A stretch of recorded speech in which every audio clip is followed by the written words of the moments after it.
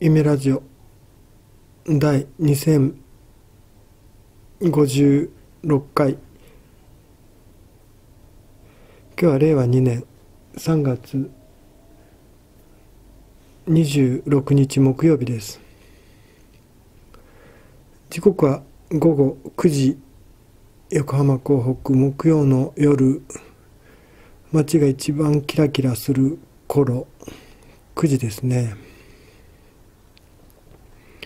センター北の観覧車も緑の明かり輝き東のランドマークタワーもライトアップされています。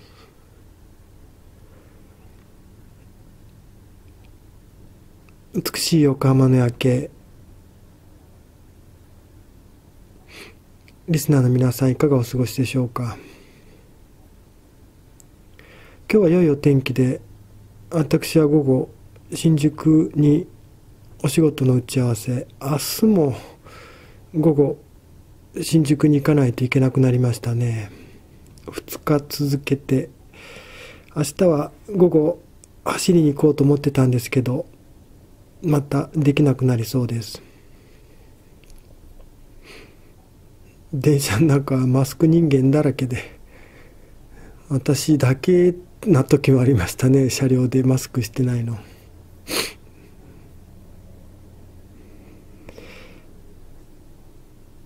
普段から体鍛えとけばウイルスなんかどってことないし負けるものかと騒ぎすぎだろうと。ああでもね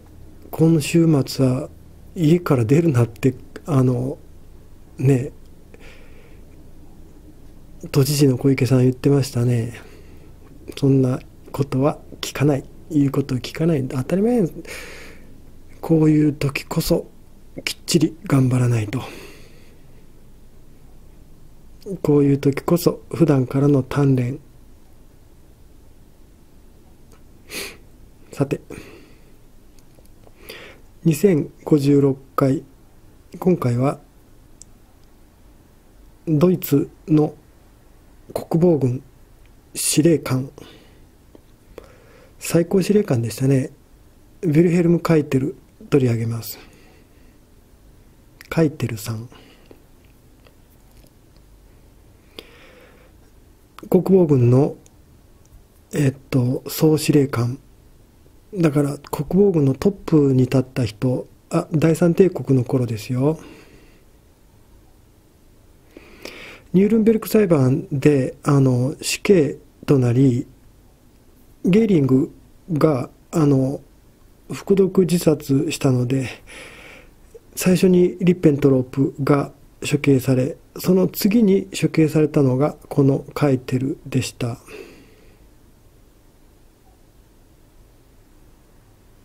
ただし戦争の後大慌てで訴求法を作ってその事後法で裁くというニュールンベルク裁判、まあ、これは極東裁判も同じですが、まあ、茶番でした。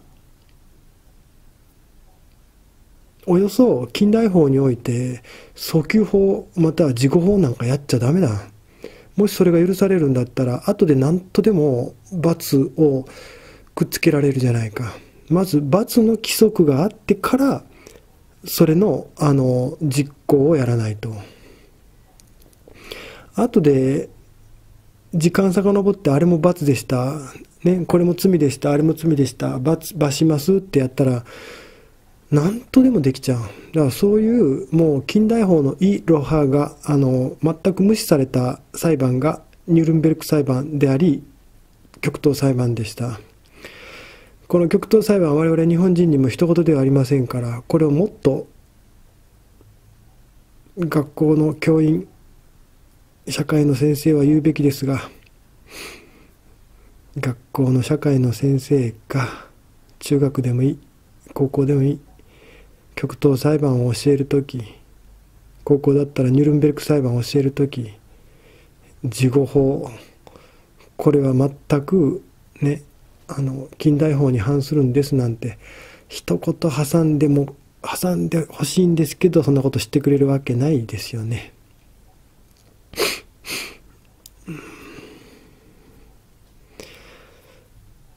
えー、っと書いてるあのドイツ北部の生まれであのハノーファーとかねブラウンシュバイクとか漢字わかりますか？あのちょっとわかんないよねあのドイツの地名言われても、まあ、ドイツの北の方の、えっと、出身の人です。ヒトラーよりも数年年上ですね。であのゲッティンゲンっていうあの町があるんですけど大学が有名ですよね。そこのギムナージウムに行ってでそれであの軍人となった。その軍人となったのは父親の意向と言われますが、まあ、よくは分かりません。であのこの書いてる青年がですねまあ軍人になるんですけど師範学校は行ってない。だから師範学校も行ってないのに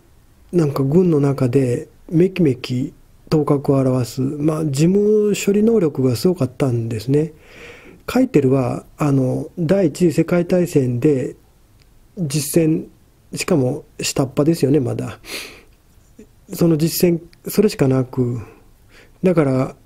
最終的に国防軍の総司令官まで行ったのはまあひとえにこの事務処理能力ですよ。で軍というのはねまあ戦ってるお方々の集まりなんですけどまあ官僚組織なんですよねあれはあれで。ですからあの事務処理能力がないとやっぱ上には上がれません。日本の陸帝国陸軍帝国海軍ももちろんそうでした。でこの書いてるなんですけどあの、まあ、軍の中で上がっていきそして第一次世界大戦が起きそしてその第一次世界大戦においては、まあ、従軍はするんですけど、まあ、大したえっとあの働きはできないですねまだ若いし。でドイツの敗戦。ただしこのベルサイユ条約へのドイツの派遣団にも加わったりあと戦艦機においてはねドイツは非常にあの軍備力を制限されたんですけどその制限された軍備力の中でもいかにドイツを再生させるかこれに心砕いた軍人。あしかも軍人の数も大きく減らされたんですがその減らされた中にあっても選ばれて残った。兵務局って言ってね戦艦機。でこの兵務局が結局あの参謀本部なんですよ。で参謀本部っていうのがあってで書いてるもその参謀本部に詰めてたんですけど戦争の前および戦争中はね第一次ですよ。けどあのドイツが負けてでベルサイユ条約でドイツがもうボボロボロにされてで参謀本部ももう解体だ。兵務局というなんかよくわかんない名前の部署を作ってでそこがでも参謀本部。でここにやはり書いてる。だから書いてるの活躍はこの辺りからですよ。やっぱ若かったのでいくら参謀本部に詰めていたと言っても戦前戦中はまあやれることは知れてる。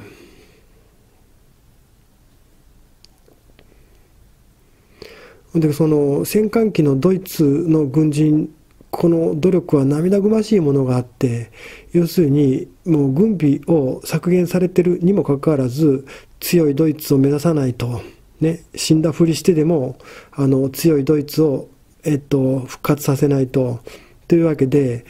あのブレスト・リトフスク条約でソ連とは早々に講和しそしてあの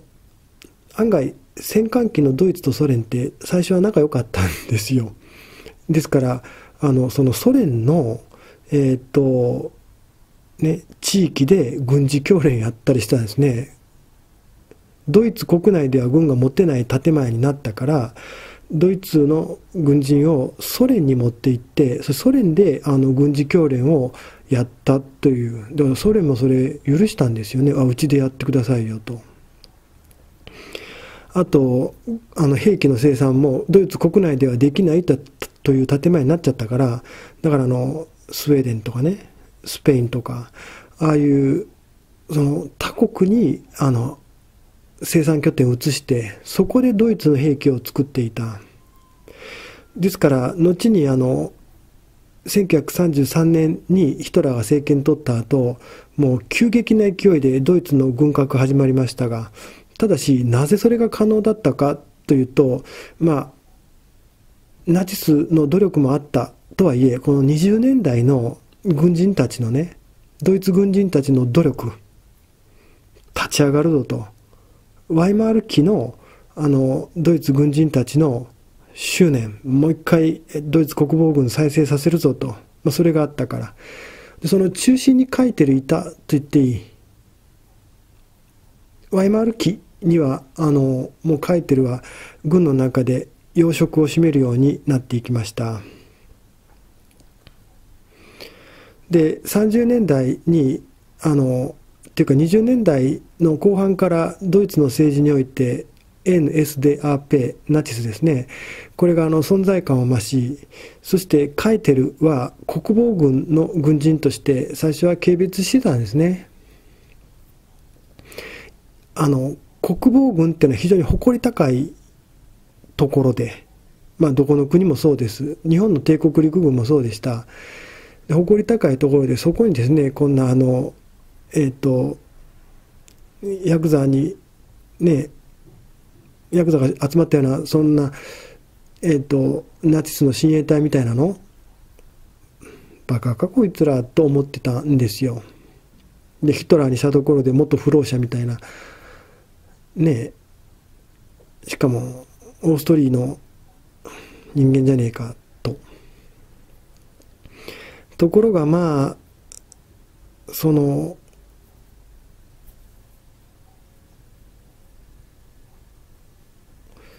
会ってみるとヒトラーの魅力に取りつかれだからやっぱすごい力があったんですねヒトラーさんは。だか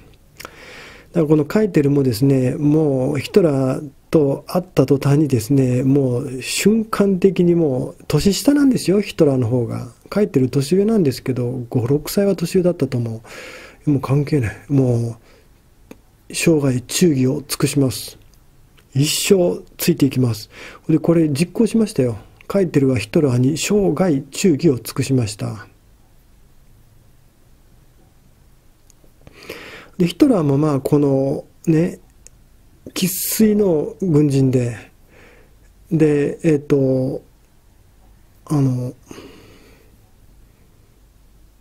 忠誠心あるとだから書いてるを重用しでカイテルの地位がぐんぐん上がっていきました国防軍の中で。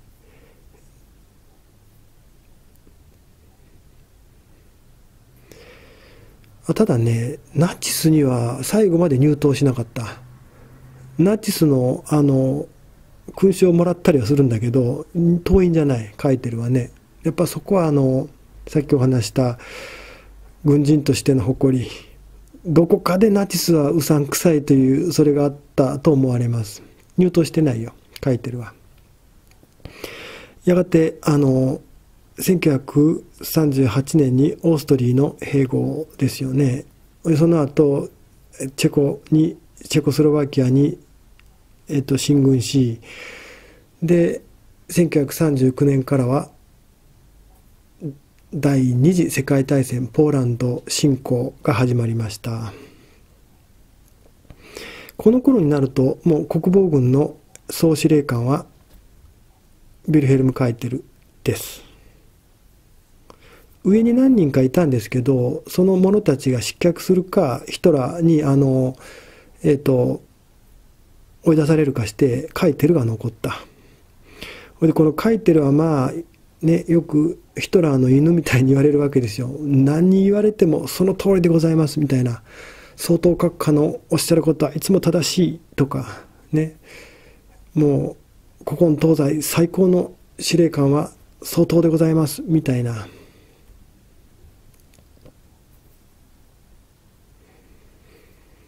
で、ヒトラーのあの采配も1939年ポーランド侵攻で1940年フランス侵攻この辺まではもう抜群でしたよね。あただしね、カイテルは1939年から40年の冬にフランスに行こうと思ってるヒトラーを押しとどめたそうですよ。まず東方戦線、東部戦線であれだけね、進軍したんなら兵は休ませないといけないと。で、そのまま取って返してフランスへは焦るお気持ちは分かりますが、相当それだけはという感じで。で、ヒトラーは何を寝ぼけたこと言ってるんだと。ね、もう時を移さず、移さず、あの、西に取って返すのが我らドイツのシュリーフェンプランではないか。ところが相当ね、今のままではもう兵士たちは西へと進軍する力がなく、したとしても作戦にとかって、支障が出ます。実際その通りでヒトラーは最終的にこのカイテルの進言を受け入れてで1940年の春まで待ちましたねそれであの怒涛の進撃あのコンビニコンビエーニュですね。コンビエーニュの森っていうかあの場所に列車持ってきてでその列車っていうのは第一次世界大戦の時にドイツがフランスに負けて降伏文書に調印したその列車をわざわざ持ってきてコンビエーニュに。そしてそこで、えー、っと今度はフランスに降伏文書署名させると。あのヒトラーのあのなんかポンと飛び上がるようなよっぽど嬉しかったんですね。あの映像が残っていて書いてるもこの場にいました。ところが1941年6月の独ソ戦。ヒトラーはあの300万のあの軍ですね。もう100万じゃなかったね。300万だからすごい。300万の軍を用意してしかもその動員にスターリンが気づかないっていうのはどういうことなんでしょうね。300万のだって見てれば若いじゃないですか。そんなの。国境付近にゾロゾロゾロゾロドイツ兵がね戦車としかも飛行機だって飛んでるでしょう。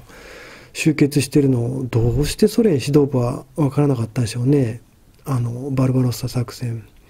ただこの時リッペントロップはあの反対したし独ソ戦はダメですと。相当かかと。で今回の主人公カイテルもですね国防軍最高司令官だってるんですけどダメですと。でこの2人がもう共同でヒトラーを止めてんだけどヒトラーはこの時聞かなかった。もうバルバロッサ作戦はやると。お前ら2人の言うことは分かったと。しかしやると。それ以上は言うなと。でそのカイテルは最後までその独ソ戦に反対しモスクワに攻めていくことに反対しやっぱり危ないと思ったんですね。兵隊が伸びきるし、えーと、冬になったらね冬になったらあの完全に攻めていった方が不利だしナポレオン戦争の二の舞じゃないですか。軍人ならパッと分かるわけですよそんなの。ただまあヒトラーは冬までにモスクワも落とせるという自信があったんでしょうね。落とせなかった。モスクワ攻防戦ではドイツも頑張ったんだけどモスクワ目の前で退却。この時カイテルはヒトラーにものすごい叱責されたようです。お前のせいだみたいな。だけどカイテルはそもそもこの作戦に反対してたんですけどでその作戦無理やりヒトラーがやらせてね、あの1941の攻防戦モスクワ攻防戦。それで失敗したらお前のせいだってこの辺から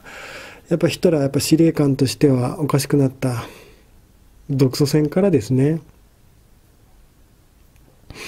であの翌年スターリングラードの戦いでも死守せよ死守せよというそういう命令現場も知らずにね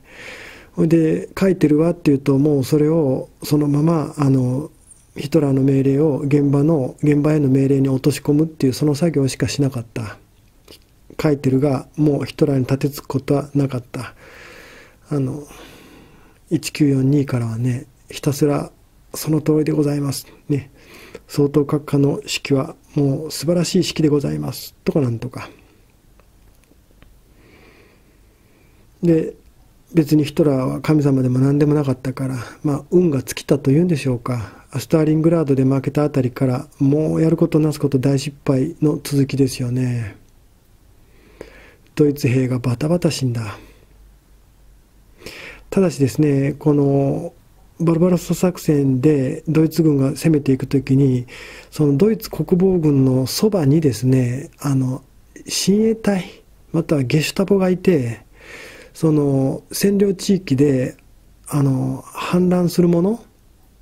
パルチザンレジスタンスこれを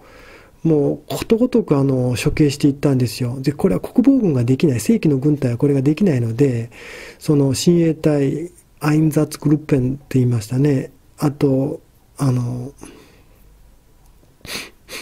ゲシュタポこの辺がやってたんですよ。しかも、この国防軍の総司令官だったカイテルはこれを黙認。つまり、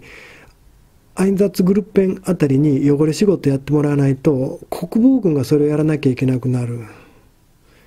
そう思ってた。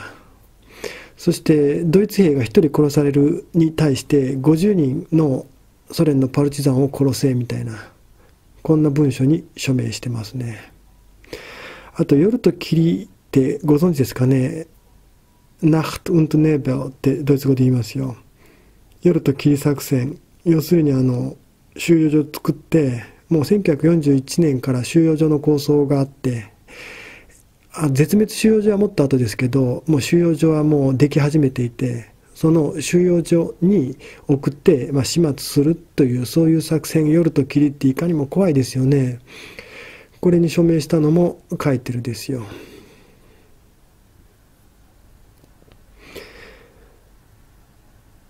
最後まで、えー、っとヒトラーには忠実でだからゲーリングやヒムラーやあの辺のものみたいに途中でスタコラーと逃げたり裏切ったりはしなかったんですね。だからあのデイニッツが有名じゃないですか。ドイツが負ける時の降伏文書に。けれど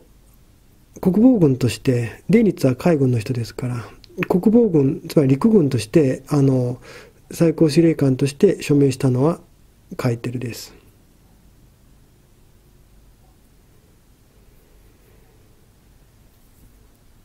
で戦後あのナチスの大物ばっかり集められてあのホテルを改造した収容所にだからいい待遇だったでしょうねあの収容所って言ってあの思い浮かべるあんなんじゃなくてホテルを改造した収容所に集められてそしてニュールンベルク裁判。まあ書いてるはもう死刑確実だったんですよ。ただし今回の放送の最初でも言った訴求法で裁かれたという、うん、なんとか言いましょう。日本の放送関係者あるいは法の学者これをニュールンベルク裁判でも極東裁判でもこの近代法を踏みにじったこの裁判。訴求法で裁いちゃダメだ。まあ、あんなことが言えるわけもなく、またあの、ドイツはあの、非常に非人道的なことをやったというのが戦後明らかになったのでね、で、日本はそれを非人道的なことが何もなかったので、無理やり極東裁判で、あの、南京大虐殺とか、あの、ああいうのがでっち上げられたんですよ。極東裁判まで南京大虐殺なんか当の中国人の誰も言わなかったんだから。あれ南京には当時も国際的なジャーナリストが何人も入ってたんですけど極東裁判まで誰も何にも言わなかった。なんで言わないんですか？そんな何十万人も日本兵がね殺してるんだったら。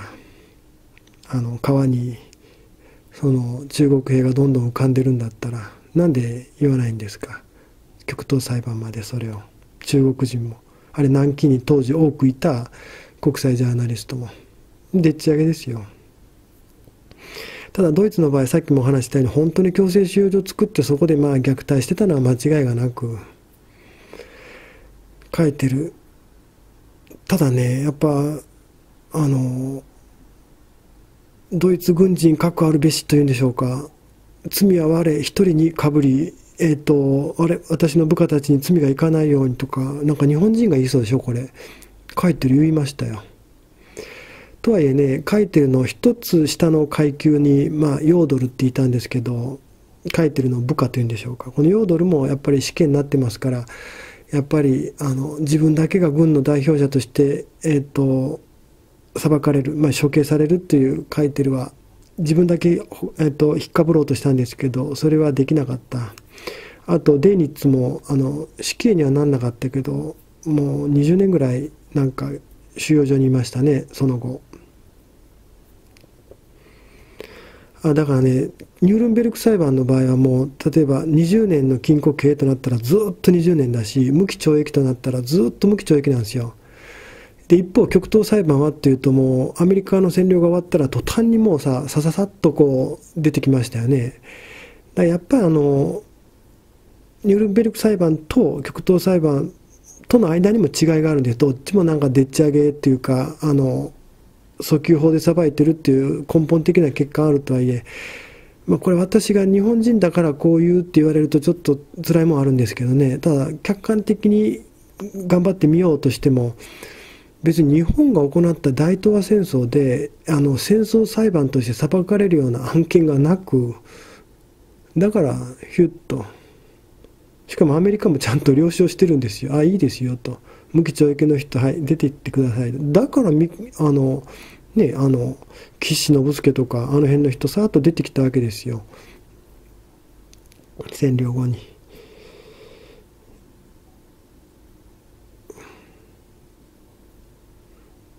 さて、えっ、ー、と、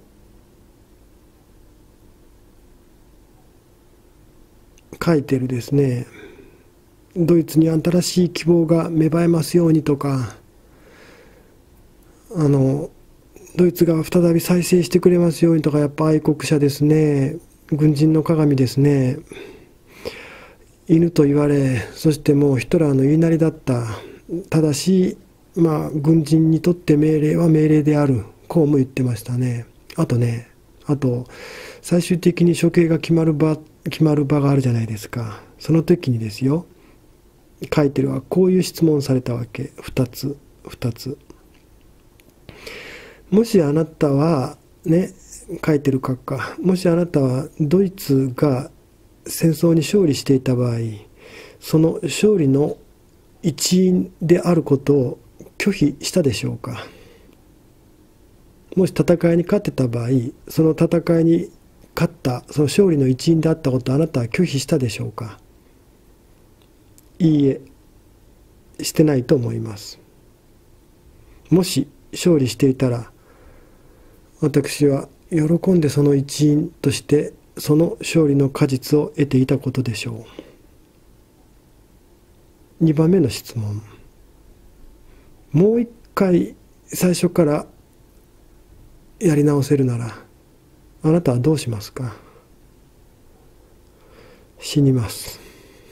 その場で死にたいと思います。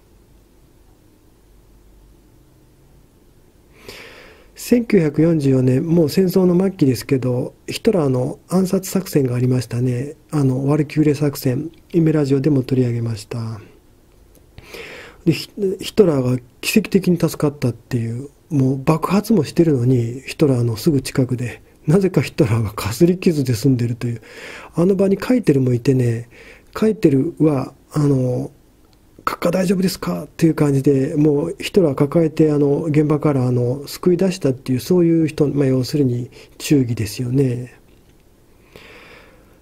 あそこで死ねていたらこう言ったそうですよ。夢ラジオ。2056回。今回はドイツの国防軍総司令官ビルヘルム・カイテル取り上げました。ありがとうございました。